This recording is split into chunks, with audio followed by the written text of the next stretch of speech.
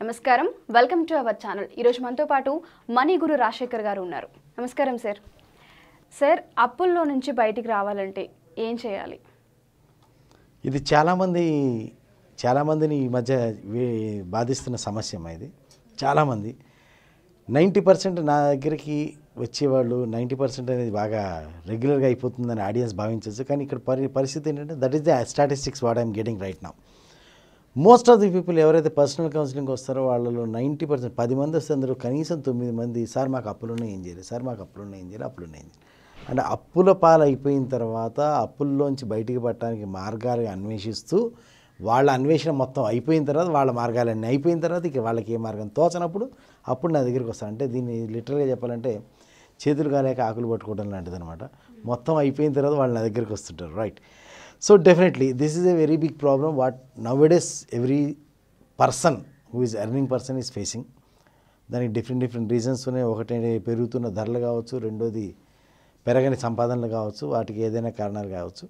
కానీ దానికి కనుక ఈ అప్పుల నుంచి బయటికి రావాలంటే కనుక ముఖ్యంగా మూడు స్టెప్స్లో రావాలి. ఒక సింగిల్ స్టెప్లో బయటకు వద్దామంటే కుదరదు మూడు steps first and foremost first and foremost ఏంటంటే కొత్త అప్పులు చేయకుండా ఉంటాం. Hmm. అదేంటి సార్ అప్పులు అయిపోయినాయి అని చెప్పి అంటుంటే మళ్ళీ మీరు కొత్త అప్పులు చేసేదాకానా అంటే ఇక్కడ పాయింట్ ఏంటంటే జనాలు కొత్త అప్పులు చేయడం ఆపేస్తారు. ఒక స్టేజ్లో కొత్త అప్పులు చేయడం ఆపేస్తారు. ఆపేయటం వీళ్ళు చేయరు వీళ్ళు ఆపరు. ఇచ్చేవాళ్ళు ఆపేస్తారు. వీళ్ళకి అప్పిస్తున్న వాళ్ళు ఆపేస్తారు. వాళ్ళు అప్పిస్తున్న వాళ్ళు ఆపేసిన వల్ల వీళ్ళు ఆగుతారు. లేదా అప్పటిదాకా వీళ్ళు ఆగరనమాట వీళ్ళు వెళ్ళిపోతుంటారు. కానీ దాంట్లోంచి బయటికి రావాలంటే లిటరల్గా వాళ్ళు ఆపే కంటే ముందు మనం ముందు వాళ్ళకి అసలు అప్పులు చేయడం అనేది కొత్త అప్పులు చేయడం అనేది ఆపాలి. ఆపాలి అని చెప్పంటే జనరల్గా అప్పటిదాకా ఇది అప్పులు అనేది ఎట్లా ఉంటుంది? పులి మీద స్వారీలాగా ఉంటుంది అన్నమాట కూర్చుని పులి మీద స్వారీ చేస్తున్నంతసేపు ఓకే. కానీ ఒకసారి అది ఆగిందనుకోండి అది మన తినేయటమో ఏదో జరుగుతుంది అనమాట సో ఆ స్టేజ్ జరుగు డెఫినెట్గా జరుగుతుంది కాబట్టి ఇక్కడ పాయింట్ ఏంటంటే అప్పులు కొత్త అప్పులు చేయటం అనేది ఆపేయగలగాలి. ఆపేసిన డెఫినెట్గా ఇబ్బందులు వస్తాయి. కానీ ఆ ఇబ్బందులు ఇబ్బందులు వస్తాయి ప్లస్ అవమానాలు జరుగుతాయి. కొంత ఇప్పుడు ఏమవుతుందంటే రొటేషన్ ఒక దగ్గర నుంచి పదివేలు ఇవ్వాలి. పదివేలు ఇవ్వాలి కాబట్టి వీళ్ళు ప్రెషర్ పెడుతున్నారు కాబట్టి ఇక్కడి నుంచి పన్నెండు వేలు తీసుకొస్తాం. ఈ లోపల ఈ వ్యక్తి పన్నెండు వేలు కావాలంటాడు. ఇంకో దగ్గర నుంచి పదిహేను వేలు తీసుకొస్తాం. ఈ సర్క్యులేషన్లో రొటేషన్లో అప్పుల వాల్యూమ్ అనేది పెరుగుతూ ఉంటుంది.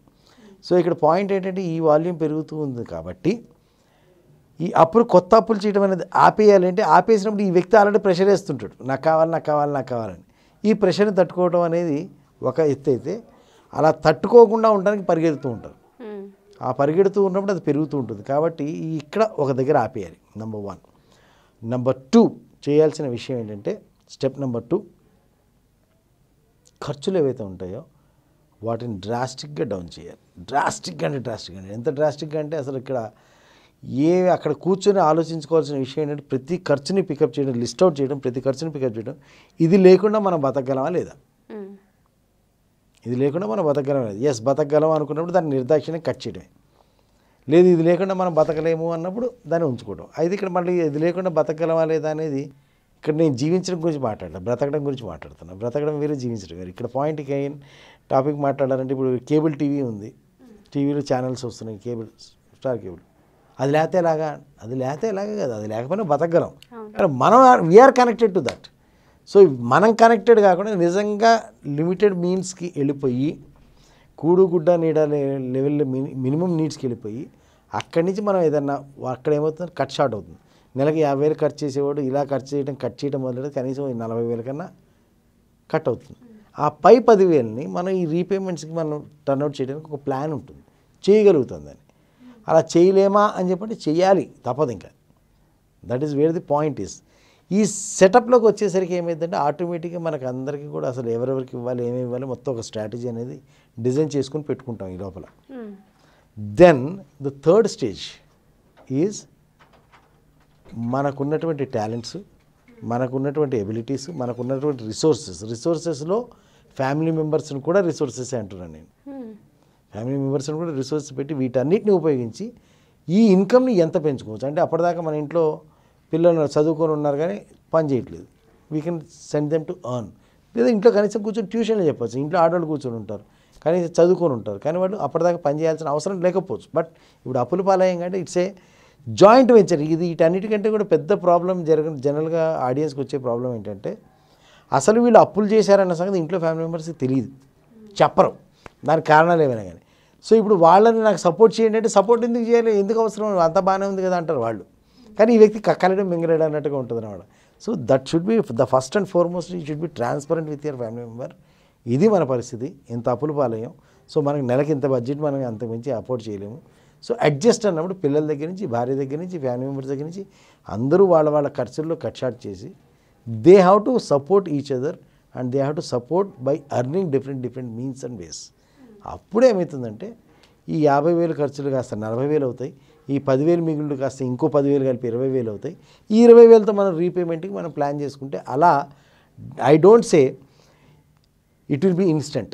Overnight జరుగుతుంది అనేది మనీ విషయంలో మీ కనుక ఆడియన్స్కి కనుక ఎవరైనా తెల్లారపాటికి రిజల్ట్స్ వస్తాయని ఎవరైనా చెప్తే ఇట్స్ ద బిగ్గెస్ట్ లై అతిపెద్ద అబద్ధం. డబ్బు విషయంలో తెల్లారపాటికి results Rao. Money is always a process. ఒక విత్తనం మనం నాటి తొందరగా ఉంది కాబట్టి వంద బిందులు నీళ్ళు పోస్తే కాయలు కాయవు. It has its own processing time ఆ ప్రాసెసింగ్ టైం అనేది మనకి కంపల్సరీ కావాలి. మనీ విషయంలో అయితే ప్రాసెసింగ్ టైం కంపల్సరీ కావాలి. ఆ ప్రాసెసింగ్ టైం అనేది పడుతుంది. ఇక్కడ పాయింట్ నా దగ్గరికి వచ్చే వాళ్ళ దగ్గర నాకు ఎదురయ్యే ప్రాబ్లం ఏంటంటే వాళ్ళు ఒక ఆరు ఏడు ఎనిమిది తొమ్మిది సంవత్సరాల టైం గ్యాప్ తీసుకుని ఒక యాభై లక్షల అప్పులు పాలవుతారు. ఓ ఏడెనిమిది సంవత్సరాలు తీసుకుని యాభై లక్షల అప్పులు పాలు. నా దగ్గరికి వచ్చిన తర్వాత సార్ రెండు మూడు నెలల్లో తీర్చేయాలి సార్. రెండు మూడు నెలల్లో తీర్చేయాలి. ఏదైనా సరే మార్గం చెప్పండి. Boss come on give a break six seven years పట్టింది నీకు అప్పులు పాలవటానికి. కనీసం దాంట్లో ఒక వన్ థర్డ్ టైం బయటికి రావడానికి యూ గివ్ ద టైం ఆ టైం ఇవ్వకుండా మనం ఓవర్ నైట్ వచ్చారు ఓవర్ నైట్ వచ్చారంటే దట్ ఈస్ నెవర్ పాసిబుల్ ఒకవేళ ఎవరైనా ఏదైనా చెప్పి ఈ మంత్రం చేయండి ఈ తంత్రం చేయండి అది చేయండి ఇది చేయండి అని చెప్పినా కానీ it is not going to happen రాసిస్తాను నేను కావాలంటే. డెఫినెట్గా it needs a process time you have to be discipline and ఈ అప్పుల్లోంచి బయటికి రావాలంటే కంపల్సరీగా కావాల్సిన విషయం ఏంటంటే it's a financial discipline. Financial discipline అనేది మనకు వస్తేనే అసలు అసలు ఫైనాన్షియల్ డిసిప్లిన్ అంటే అప్పుల పాలు కాడెవడు? ఒకవేళ అయినా కానీ అప్పటికైనా సరే మనం దాంట్లో బయటికి రావాలంటే we need to have a financial discipline ఈ ఫైనాన్షియల్ డిసిప్లిన్తో ఈ మూడు స్టెప్స్ కనుక కరెక్ట్గా ఫాలో చేయగలిగితే step number one I'm repeating it for the audience again step number one ఏంటంటే stop making new loans taking new loans కొత్త అప్పులు చేయడం ఆపేయండి. రెండు ఖర్చుల్ని దారుణంగా ఎంత వీలైతే అంత తగ్గించేయండి. వీలైనంత వీలైనంత అంటే ఇక జస్ట్ బతకాలంతే. ఎందుకు అని చెప్పంటే అసలు ఈ అప్పులు మనం చేసిందే మన యొక్క సరదాలు తీర్చుకోవడానికి కావచ్చు లేదా వేరే వేరే ఇతర అవసరం లేని ఖర్చులు తీర్చుకోవడానికి కావచ్చు. లైక్ వారన్ బఫెట్ గారు ఏమంటారంటే అవసరం లేని డబ్బు ఉన్నప్పుడు అవసరం లేనివి కొంటే డబ్బు లేనప్పుడు అవసరమైన అమ్ముకోవాల్సి వస్తుందని సో ఇక్కడ అవసరం లేనివి కొన్నాము సో అవసరం లేని ఖర్చులు చేసాక ఇప్పుడు ఇప్పుడైనా ఖర్చు అంటే what happens year if it is a combination if ఈ life is a combination of good enjoyment and not enjoyment అంటే ఎంజాయ్ చేయడానికి ఎంజాయ్ చేయకపోవడానికి కనుక కాంబినేషన్స్ కష్ట సుఖాలు అన్నట్టుగా మనం కాంబినేషన్ తీసుకుంటే ఈ సుఖాల పాట అంతా నువ్వు ఆల్రెడీ ముందు ఎంజాయ్ చేసావు సో ఈ కష్టాల పాట అక్కడ సుఖ కష్టాలు కూడా ఇక్కడికి వచ్చి ట్రాన్స్ఫర్ అయినాయి కాబట్టి ఈ కష్టాలు మొత్తం నువ్వు కవర్ చేయకపోతే ఈ కష్టాలు మొత్తం నువ్వు ఓవర్కమ్ చేయకపోతే you cannot again have a సుఖమైతే so సు కష్టాలు సుఖాలు కాంబినేషన్లో సుఖాలని ముందు అనుభవించావు. ఇప్పుడు కష్టాలు అనుభవించాలి కానీ you have to face it. No other way. ఈ కష్టాల కాలంలో కూడా నాకు సుఖాలు కావాలంటే మటుకు అయిపోయింది. యువర్ కోట్ ఆఫ్ సుఖాలు ఈజ్ ఓవర్.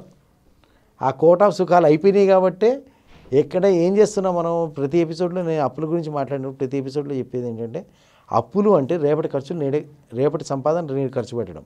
Hmm. అంటే మనకి రేపటి సంపాదన ఆల్రెడీ నువ్వు భవిష్యత్తులోకి వస్తే గతంలో ఆల్రెడీ ఖర్చు పెట్టేసి ఏది ఇవాళ రోజున ఏదైతే నువ్వు సంపాదించాలో అది ఖర్చు పెట్టేసావు. ఇవాళ రోజు నువ్వు ఏదైతే ఖర్చు పెట్టుకొని నీ సుఖానికి కంఫర్ట్కి ఏదైతే నువ్వు ఖర్చు పెట్టుకుని అది ఆల్రెడీ గతంలో ఖర్చు పెట్టేసావు. సో ఇప్పుడు ఖర్చు పెట్టడం లేదు. ఇప్పుడు only repayment mode now your section at K became total into repayment mode అనమాట రీపేమెంట్ మోడ్లోకి వెళ్ళిపోయావు కాబట్టి ఇప్పుడు రీపేమెంట్ మోడ్లోనే ఉండాలి. ఎక్స్పెన్సెస్ మోడ్లోకి వెళ్ళడానికి వీలేదు వెళ్ళిపోతే సిస్టమ్ హ్యాక్ అయిపోద్ది అనమాట ఆ మోడ్లోకి వెళ్ళకూడదు. సో ఇక్కడ పాయింట్ ఫస్ట్ అండ్ ఫార్మోస్ట్ అప్పుల్లో ఉన్న వాళ్ళు ఫైనాన్షియల్ డిసిప్లిన్ కంటే ముందు నేను స్టెప్ బై స్టెప్ సిస్టమేటిక్గా చెప్పాలంటే అప్పుల్లో ఉన్నారని ఫస్ట్ ఫ్యామిలీ మెంబర్స్ అందరినీ కూర్చోబెట్టండి. ఇది పరిస్థితి అని ట్రాన్స్పరెంట్గా చెప్పండి. ఇది పరిస్థితి. చెప్పడానికి వీలు అసలు నైంటీ నైన్ పర్సెంట్ జనాలకి ఇగో హాట్ నా పెళ్ళానికి ఎట్లా చెప్తాను? పిల్లలకి ఎట్లా చెప్తాను? యూ హ్యావ్ టు అదర్వైజ్ రేపు రోజున నీకు సీరియస్నెస్ ఎక్కువ. చాలామంది మీరు చూస్తే కనుక family members are in shock. సడన్గా ఈ పర్సన్ ఆత్మహత్య చేసుకుంటాడు.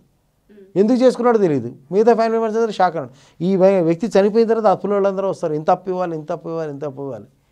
అంటే అప్పుడు పోలేదా పరువు? అప్పుడు ఈ family members తెలియలేదా? So it is not the solution కూర్చోబెట్టి దిస్ ఈజ్ ద సిచ్యుయేషన్ ఎందుకయింది ఏంటైంది? డెఫినెట్గా ఇంట్లో ఆడవాళ్ళు గొడవ పెడతారు పిల్లలు గొడవ పెడతారు మాకు సంబంధం లేదంటారు. ఎన్నో ఓకే. కానీ అక్కడి నుంచి స్టార్ట్ చేస్తేనే లేదా ఇక్కడ ఇంకో బెనిఫిట్ కూడా ఉండొచ్చు. బెనిఫిట్ అన్నారు దీని నష్టం అనాలి లాభం అనేది తెలియదు ఈ అప్పుల పాలయ్యామని చెప్పి తెలిసిన తర్వాత మీ మీ భార్య పిల్లలు వదిలేసి వెళ్ళిపోవచ్చు. నాకు ఇంత అప్లోడ్ మాకు అక్కర్లేదని చెప్పి. At least that will really make you realize that how how far your family members are truly loving you నిజంగా నిజంగా ప్రేమిస్తున్నారు? నీ డబ్బు కోసం ఉన్నారు నీ దగ్గర అనేది క్లియర్గా తెలుస్తుంది. ఎందుకంటే కష్టం వచ్చినప్పుడు సుఖం వచ్చినప్పుడు వాళ్ళు అనుభవించగలిగిన కష్టం వచ్చినప్పుడు నిలబడాలి కదా. నిలబడుతున్నారు లేదు తెలుస్తుంది. This is one benefit next ఆ ట్రాన్స్పరెన్సీతో ఇంత వచ్చింది అన్న తర్వాత దెన్ అందరూ కూర్చొని ఎక్కడెక్కడ కట్ షార్ట్ చేస్తావు? అమ్మాయి ఉంది. ఓకే నాకు రెండు వేలు పాకెట్ మనీ ఇస్తున్నారు. ఫ్రమ్ దిస్ మంత్ అనమాట I cut it down to thousand rupees. Or అబ్బాయి ఉన్నాడు నేను ఇది చేస్తాను. లేదా అమ్మాయి ఇంట్లో కూర్చుంది లేదా లేదు నేను సాయంత్రాలు ట్యూషన్లు చెప్తాను లేదా ఇంకో జాబ్ చేస్తాము.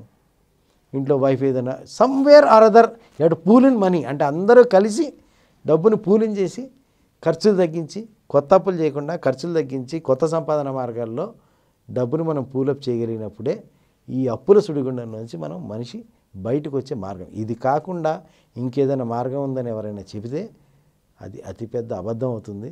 That will be going to doom okay thank you so much sir సూపర్గా ఎక్స్ప్లెయిన్ చేశారు. Thank you so much